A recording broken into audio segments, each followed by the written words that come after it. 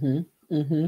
Now, I, I, so my daughter's 10 years old and um, it's v- very gorgeous child. And I'm not saying that because I'm her mama. I am saying that because I'm her mama, but very gorgeous child. My princess is beautiful. Um, she made a good point, and I'm, I'm, and my 10 year old made a good point to me. Um, she does not really talk to me about the boys. She talks to her daddy about the boys. And her rationale behind that is, well, daddy used to be a boy. So he knows why boys say and do things that they do.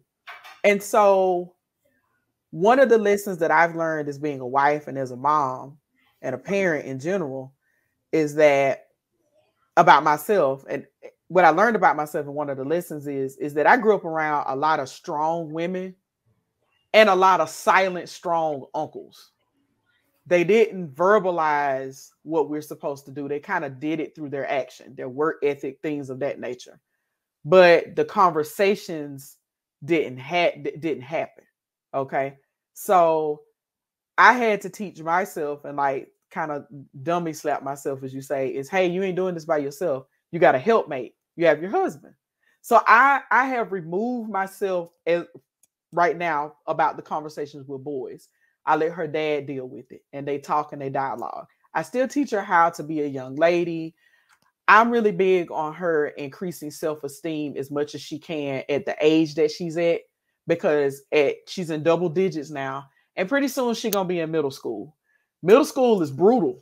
Okay, Ashley, you're an educator. So, you know, some of these kids, they can be brutal. Some of these situations, they can beat up on you.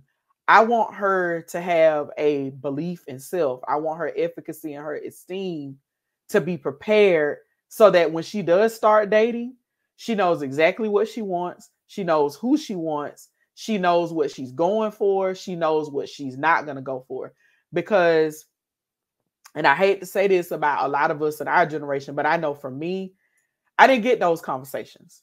And so, you know, I think that also shapes my attitude and my belief, like Cannon was saying, around a woman who would propose to a man.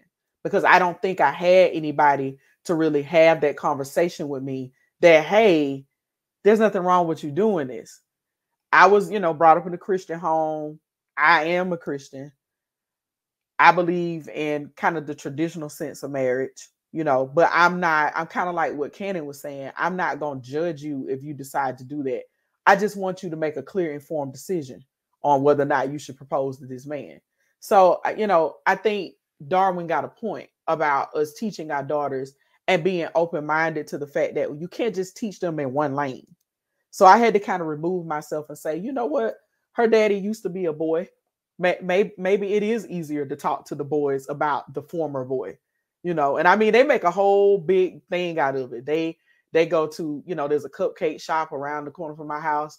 They go on dates and he and and and they have a whole conversation about boys. And then later on, I might ask some questions, and then my husband, like, but that's between me and her though. She gonna come tell you when when she's ready, you know. So I think that both parents, this is where mama, I for me with the daughters, I think that this is where mama might it might benefit you to just step to the side and let daddy, who used to be the boy, talk about the boys with the daughters.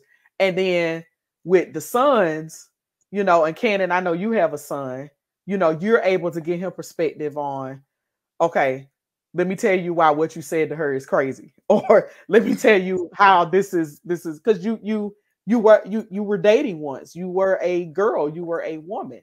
So I think a lot of times we have it backwards where you know women think we got to hold on to these daughters and teach them all of these traditional things which is nothing wrong with that but i think we need to think outside the box bring you know dad into the picture